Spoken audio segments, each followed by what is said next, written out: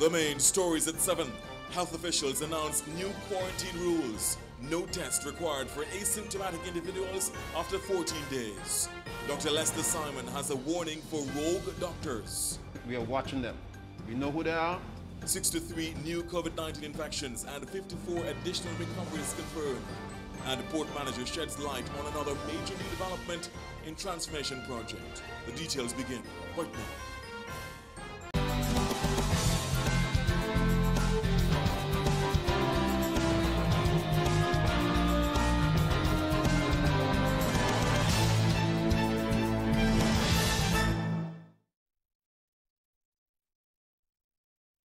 Local evening news is brought to you by Nagico, local agents Bryson's Insurance. Good evening, you're tuned with the ABS Evening News. Thank you so much for joining us. My name is Garfield Burford. And I'm Sequoia Servia. Thank you for joining us. New rules have been announced which will immediately affect over 1,500 people placed in quarantine. The updates were provided today in a special media briefing by the country's top health officials. That's right, Sequoia. Now, if you were placed on quarantine after being exposed to a confirmed COVID 19 case, but you are asymptomatic at the end of 14 days, you can leave quarantine without a COVID 19 test. ABS has comprehensive coverage on this issue this evening, beginning with this report from Shanakisha Francis. Chief Medical Officer Dr. Rhonda Seeley Thomas outlines the basis of the Health Ministry's updated policy on quarantine release. Based on uh, the recommendations from the World Health Organization and our internal consultations, um, we have made a decision that quarantine for COVID 19, um, contacts of COVID 19 cases will end after 14 days. Dr. Seeley Thomas says they will not be doing any testing for the release of people from quarantine because World Health Organization has advised it is not necessary at this time. No testing for the persons who are in quarantine once they remain asymptomatic. I have to stress that because persons who are in quarantine, once they are symptomatic, they would need to um, seek medical attention and possibly get tested for COVID-19. Head of the laboratory at Sir Lester Bird Medical Center, Dr. Lester Simon, says WHO has provided this recommendation after extensive tests on how the coronavirus transmits. They know scientifically that that virus at that stage is dead, just as we killed it at the beginning when we were testing. So you can see where I'm leading to, that even though the virus is dead at the end stage, if you take a sample, the sample will still be positive, but the sample and that virus is not infectious. This new arrangement relates to people who are in quarantine after having been exposed to the virus, but who remain asymptomatic after 14 days.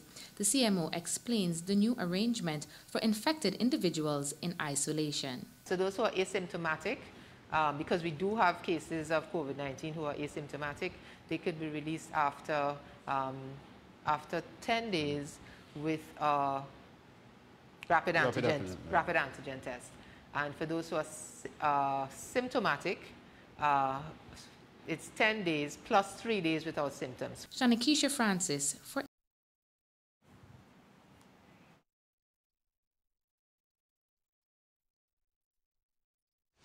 Meanwhile, head of the laboratory at the Sir Lester Bird Medical Center, Dr. Lester Simon, is apologizing to some individuals who have spent much longer than two weeks in quarantine without being contacted by health officials. The health officials are promising improvements in the monitoring process, as we hear from Sherilyn Beezer. I think it's important for us to say at this time as well to apologize for the long delay that some people have had. The ones mm -hmm. who have actually called and said, I'm in quarantine for two, three weeks, four weeks, and nobody have called. Again, or profuse apologies for the length of time people have had to stay in quarantine beyond the 14 days. Head of the laboratory at the Sir Lester Bird Medical Center, Dr. Lester Simon, at a media briefing on Wednesday morning. Meanwhile, Chief Medical Officer Dr. Ron Seeley Thomas says the level of monitoring on those in quarantine will be improved. And we are going to step up our checks to persons' homes. This is one way where we can get persons back out to work in a more timely manner instead of having to wait and wait and wait for a test for release. The CMO explains how an employer is notified about an employee who is required to go into quarantine. Once we place someone in quarantine, they're given a sick leave um, from the Ministry of Health from our epidemiology unit, and that's how the employer knows that the person was placed in quarantine. As it is now, all who remain asymptomatic will leave quarantine after 14 days without the need for a test. Sherilyn Beezer reporting for ABS News. Meanwhile, Dr. Lester Simon has fired a shot across the bow as he warns some doctors in, in the country to ensure they follow the rules. He is concerned there are rogue doctors in the country. He was elaborating on the response to a journalist's question regarding whether there has been an improvement in the way private doctors have been reporting information regarding COVID-19 to the health ministry. I think it's important to tell some doctors out there, and I said this as, as, a, as a member of the disciplinary committee, to, to not lead themselves into temptation. You know, um, deliver themselves from whatever evil they may see as far as certain things are concerned, because the, the kingdom will not come. All right? We are watching them. We know who they are, and there are rogue doctors out there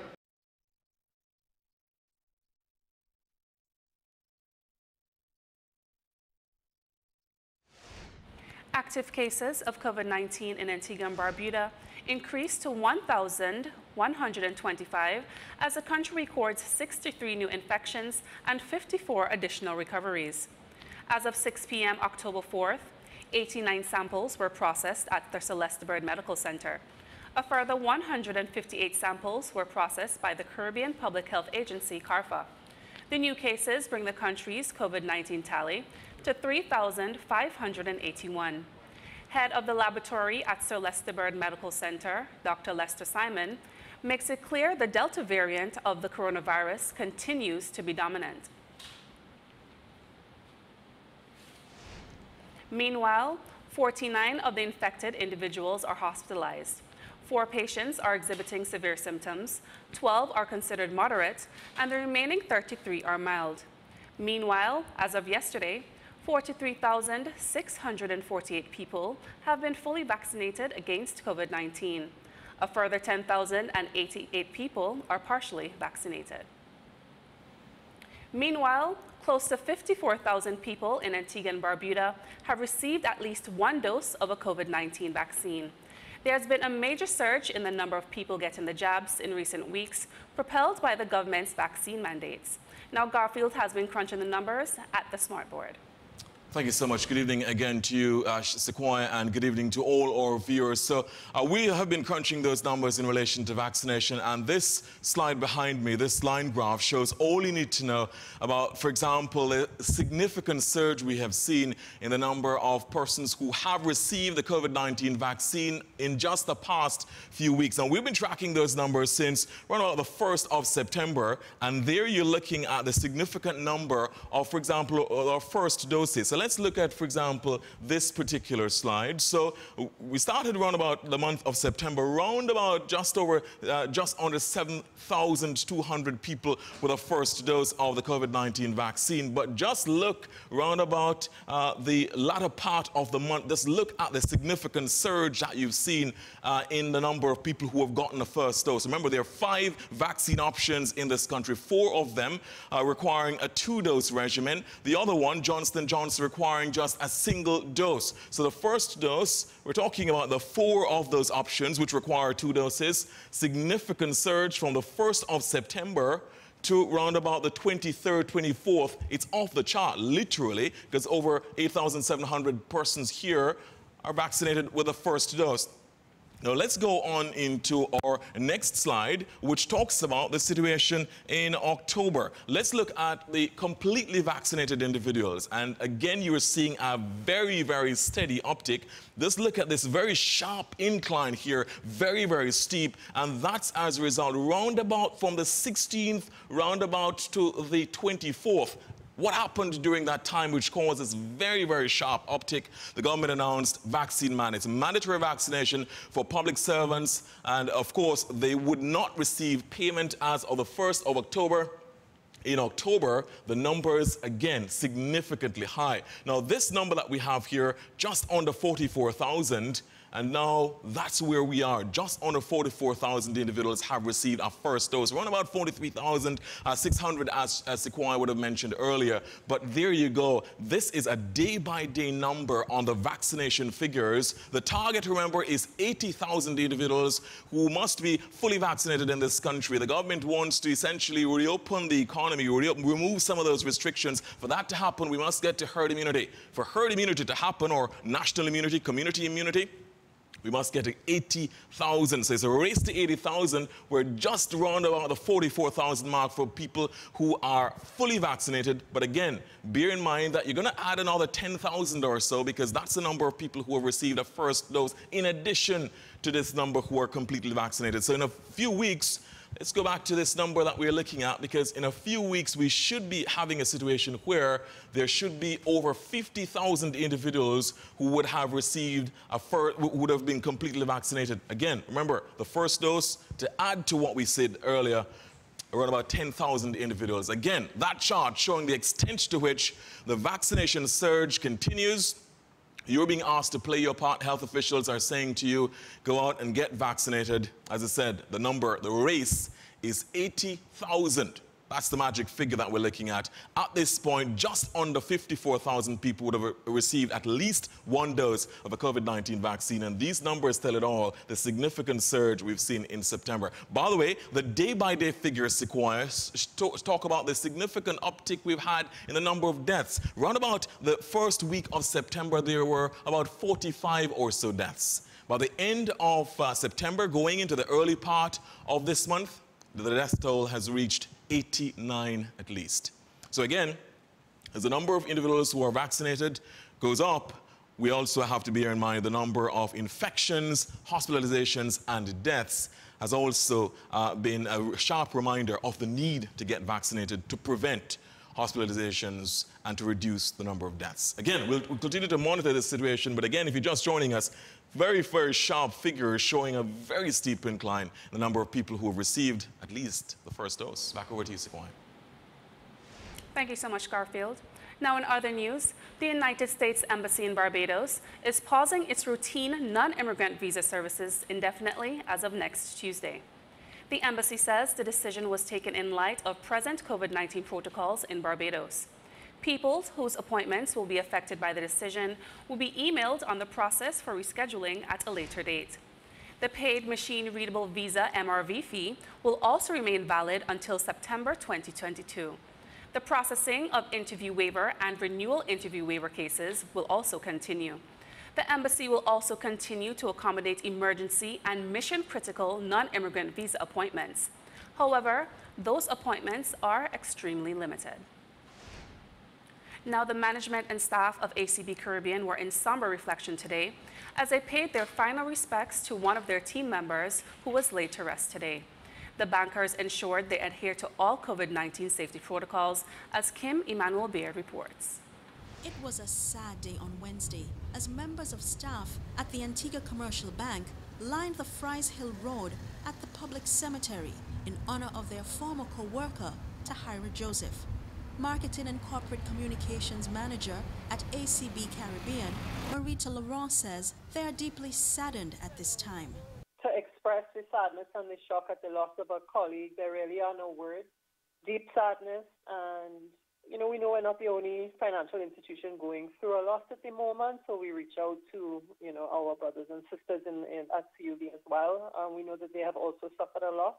I think the mood is just a heavy one. Laurent says the institution prefers to celebrate the life of Joseph and how she impacted the organization for 12 years. We've had a series of communication to employees and different types of tributes in her honor. So it's an ongoing process, and we're trying to cope with this together as a team. The late Miss Tahira Joseph was a customer service representative at ACB Caribbean. However, her tenure here was 12 years. Tahira Joseph worked in the legal department at ACB, and Laurent gives an insight into her sterling service. Ms. Joseph was exceedingly creative, energetic, bubbly personality that her talents were not limited to her primary role at ACB Caribbean. She was quite often involved in anything creative that we had to do, was a volunteer at all company events, was a motivator amongst the team. This is Kim Emmanuel Baird, ABS News. Now, on to stories in the courts. A witness says Brody swung first on day three of Kenroy Joseph's murder trial. Prosecutors say Joseph injured Lucien Glennox Brody in a fight that ended in Brody's death three weeks later. Today, a male witness said on February 24, 2016, he and others were preparing Mac Pond playing field for the upcoming cricket season. He says Brody was using a hoe to remove grass near the field's southern goalpost when Joseph approached him cursing. The witness says Joseph then went to his vehicle for a cutlass, placed it in his side, then returned to argue with Brody. He says he was near the field's northern goalpost, so he could not hear what they were saying, but saw Brody swing the hoe at Joseph. He says Joseph stepped back, pulled out his cutlass, and began swinging at Brody, who used the hoe stick to block the blows. According to the witness, the force of Joseph's swings pushed Brody to the ground. He says Joseph then went over Brody, chopping him in his upper body at least five times. The witness says when he got nearby, he saw people attending to wounds to Brody's head. The case resumes in the High Court on Thursday. Let's stay with matters in the courts because the Caribbean Court of Justice will hear oral arguments on the 18th of January next year on whether to give British American insurance company policyholders special leave to bring a case against the Trinidad and Tobago government. The policyholders are seeking over 800 million EC dollars compensation for funds they lost when BAICO collapsed in 2009. Now, they claim the government in Port of Spain only rescued its citizens when it bailed out the insurance company's local arm. The policyholders say the country uh, discriminated against them because of their nationality. They are petitioning the CCJ in its original jurisdiction for relief under the revised Treaty of Chaguaramas. At a case management hearing on Wednesday, the court gave Trinidad and Tobago until the 5th of November to submit written applications as to why it should deny the policyholders leave. The policyholders have until the 3rd of December to respond to the submissions, and Trinidad and Tobago should reply by December 17. The policyholders filed a class action lawsuit after forming themselves into a company called British American Insurance Company Limited and Colonial Life Insurance Company Limited Policyholders Group, or BACOL. UK-based attorney Simon Davenport Queen's Counsel is leading their legal team. Deborah Peake, senior counsel, and her team are representing the Trinidad and Tobago government. Now you're up to date on those matters in the court. Of course, let's tell you about a programming note because coming up at 8 o'clock, an absolutely must-see edition of Ask the Doc we'll be asking about breast cancer because it's Breast Cancer Awareness Month, and that's why we're in shades of pink this evening, Sequoia. So we'll be having three extraordinary doctors join us in our studio, socially distanced, of course. You can ask your questions, you can send your questions on WhatsApp 268-729-0675 or on our Facebook page. Facebook indeed is back up. So ask the doc coming up at 8 o'clock. Absolutely riveting in store. In the meantime, still to come, more of the national developments we're tracking this evening, including this one. The Prime Minister uses another global stage to urge the developed world to play their part in assisting vulnerable small island states. And later we will tell you why scientists from the United Kingdom are in Antigua and Barbuda. Upcoming on the ABS Evening News, on air and online, please do so. At Nagico, the things that matter to you matter to us like your boat when you're at sea and you get away from everything. Your home and the security of your daughter's things. And the car that you've had for too long, but after all these years, you just can't let go. At Nagico, we're about much more than just insurance. We're about the big things and the small things that mean everything. What time is it? It's winning time with Pick 4. Win over $40,000 around the clock with Pick 4. It's the easiest pick in town. And with four draws daily, you get more chances to win over $40,000 with a wager over $10. What time is it? It's winning time with Pick 4 from the Caribbean Lottery. Get your tickets today. today.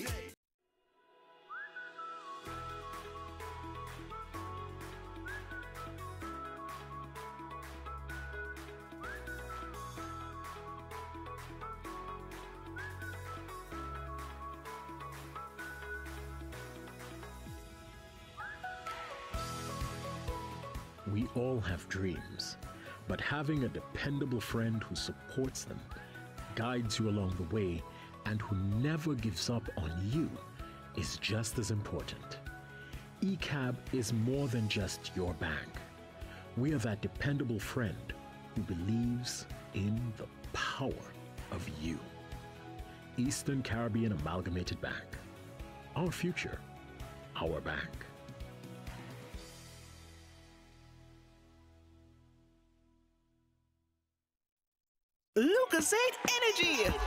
Lucozade has two delicious new flavors, but only one can stay. Team Citrus Chill. Team Berry Crush. Vote now on Instagram or Facebook by uploading a video or picture of your favorite flavor and tagging Lucozade. It's up to you which flavor stays. There are over 500 prizes to be won. See press and social media for details. Lucozade, taste the energy. Thank you so much for staying with us. Now, the project to redevelop the cargo port at Deepwater Harbor continues to forge ahead despite the challenges of the COVID 19 pandemic. The first of at least five new light towers has been erected in the latest sea change to the facility. Now, ABS's Rakib Aparicio spoke to port manager Darwin Telemaque this afternoon, who shed some light on the new development. The first of at least five light towers has been erected here at St. John's Harbour. It's the latest in the Antigua Barbuda Port redevelopment project. The new lights bring increased visibility and increased safety for port workers. Port manager Darwin Telemaque says the new light towers are approximately 35 meters tall and are noticeable improvements from the previous concrete towers. Before you would have uh, container spaces that were dark. We had challenges of relating to safety. We had challenges related to security. These new light towers that are part of this port redevelopment project uh, sits way above everything that we can stack up. The first light tower was erected Tuesday. Telemaque provides an assessment of the improvements in visibility. From last night, I can tell you that what we looked at uh, looks about maybe a 300 feet span, and that was with a yellow softer light. With the uh, brighter uh, white lights, I think that could even expand and make it even more dynamic. A second light tower will be erected shortly to further illuminate the area. That one is going to be erected pretty much close to where the uh, containers are right now. So we will have these two almost in close proximity to each other. Remaining towers, he explains, will be placed strategically across the harbor. See them all up sometime by maybe March. Yes, because they go up in stages based on uh, what's happening in certain areas. Rakib Aparicio reporting for ABS News. Prime Minister, the Honorable Gaston Brown, is calling for developed countries to write off debts for heavily indebted small island developing states. The Prime Minister, who is also chairman of CARICOM and the Alliance of Small Island States, was speaking at the opening ceremony of the 15th session of the United Nations Conference on Trade and Development. This is extremely necessary to assist with the recovery from the pandemic and to create the fiscal space so that SIDS could uh, scale up investments in renewable energy technologies and at the same time to um, pursue blue economy diversification. Now, the proposed debt write-offs will be mere book entries for developed um, states. Now, Prime Minister Brown is also renewing his calling for countries' per capita income to be replaced by a multidimensional vulnerability index in determining eligibility for concessional financing. After a year of intense um, consultations with stakeholders, it was found that an MVI is needed for SIDS, and the work on the use of the MVI should be completed hopefully sometime in 2022. A team of marine scientists from the United Kingdom are now in Antigua and Barbuda. They are undertaking a series of surveys to improve the country's knowledge of its coastal ecosystems. The scientists are working with the Department of Environment, the DOE, to measure both the depth and carbon content of seagrass beds. They will then provide the first quantitative assessment in this area. Now, this takes, and takes on even more significance as the world is engaged in efforts to limit the warming of the planet to below 1.5 degrees Celsius Celsius of pre-industrial levels. The marine surveys will also provide environmental and ecosystem information that scientists will combine with recent satellite-derived data. This will enable them to extend the seabed habitat maps developed under Antigua and Barbuda's National Adaptation Plan. You would remember that we carried this some months ago in terms of that presentation made uh, by Lindsay Thompson, the resident British Commissioner, to uh, Blue Economy Minister Honorable Dean Jonas. Now, let's tell you more about uh, resident British Commissioner uh, to Antigua and Barbuda uh, has expressed her delight uh, at the support being offered to Antigua and Barbuda as the country seeks to realize segments of its maritime economy plan. The visit of the scientists comes ahead of the United Nations Climate Change Conference, or COP26, in Glasgow, Scotland, next month, which promises to be extraordinarily important in addressing the issue of climate change. Let's remind you of one of our major developing stories, of course, the very latest on COVID-19. Let's re-show you the dashboard now. 63 uh, cases of COVID-19. Uh, active cases, therefore, up to 1,125. Uh, 10,088 people have received a first dose. 43,648 have been fully vaccinated. So in all, close to 54,000 individuals in this country have received at least one dose. Remember, as we showed you earlier, sharp uptick in the number of people getting vaccinated. The race is towards 80,000 that will give national immunity against COVID-19. Now, you might uh, want to know what is fueling this increase in the number of cases. Dr. Lester Simon, the head of the laboratory at the Sir Lester Bird Medical Center, made this clear today in Delta territory totally. Yes. Um, for the month of October, we have a 20 to do, although they may say, look, you, you messed up so bad, the only spell. We're going to send 20, but we'll send 10 and then another 10 to see if we're still maintaining the Delta profile going into the rest of October into November. But it's all Delta. As Dr. Simon says, it's all Delta. Coming up in the news from overseas after the break, we'll tell you about these stories to look forward to. New coronavirus cases soar to all-time high in Barbados as the country is placed in a very high-risk category by the U.S. Centers for Disease Control and Prevention. And internationally, WHO chief hails new vaccine being developed against malaria. We'll tell you about what is being called a historic moment for medicine. Upcoming on the ABS Evening News, on air and online. Please do stay with us. Seeing is experiential. Seeing is everyday life. Seeing is style, class, and shared sophistication. At iMobile Vision Care, we offer state-of-the-art lab technology and the widest variety of quality eyewear from the biggest brands to suit your lifestyle. Stop by our offices at Dr. Rosalie Drive Lower Gambles to get a comprehensive digital eye exam or call us at 562-7823 and ask about our optical care services. iMobile Vision Care. See and be seen.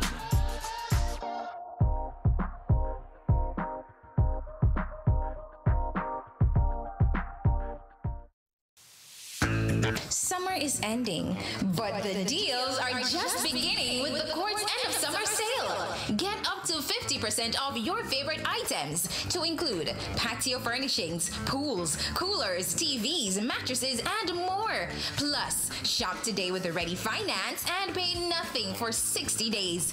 Take advantage of these sizzling summer deals for a limited time only. Shop in store and online at shopcourts.com. Conditions apply. Courts, bringing value home.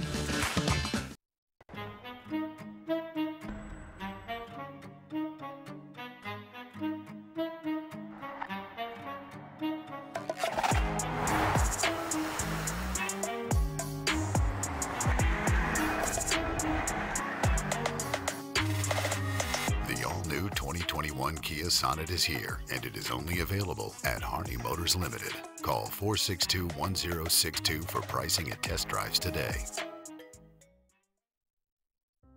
I'm Nadia. I'm Junior. I'm JC. I graduated from the Edna Manley College of the Visual and Performing Arts as valedictorian. I had a rough childhood, but teachers and theater saved me. So now I'm a teacher.